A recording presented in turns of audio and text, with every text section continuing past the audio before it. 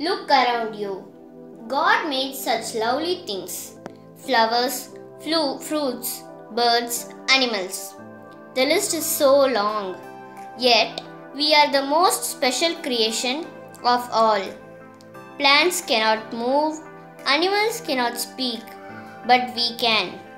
So, we must thank God for everything He has given us. I can see the lovely things around me with my eye.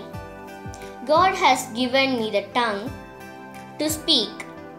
I can see beautiful flowers. I can see rivers.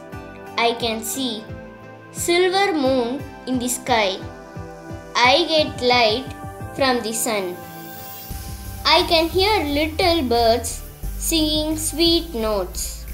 I can hear the rustle of leaves. I can hear the wind blowing.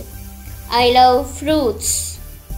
I love everything that God has given me. So, children, let us thank Him with a prayer. Thank you, God, for the world so sweet. Thank you, God, for the food we eat. Thank you, God, for the birds that sing. Thank you, God, for everything. Thank you.